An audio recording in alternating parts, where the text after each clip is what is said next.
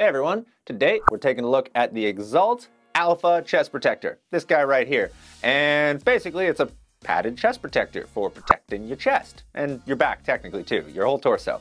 Um, fairly straightforward. How it might differ from other similar chest protectors on the market is they did actually add a little bit more padding up in the like this region. Some of them out there have more of a V for the padding. So if you get shot right here, doesn't really do much for you. Whereas this one is like a big full panel, so no matter where you get shot, there's padding there. You're, you're good. There's also a full panel on the back. Uh, as for the material it's made out of, it is this kind of like jersey material, so it does wick away moisture. It breathes real nice.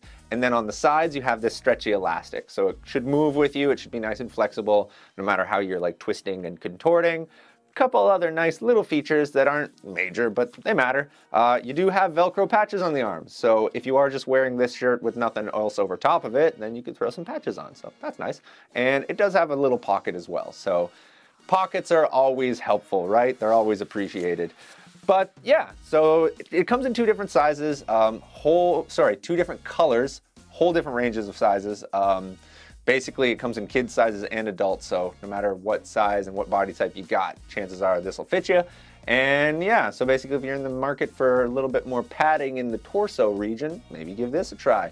And if you guys have other suggestions on like other soft goods you'd like to see us do videos on, we'd love to hear them. Always looking for more content and like and subscribe if you can, and thanks for watching.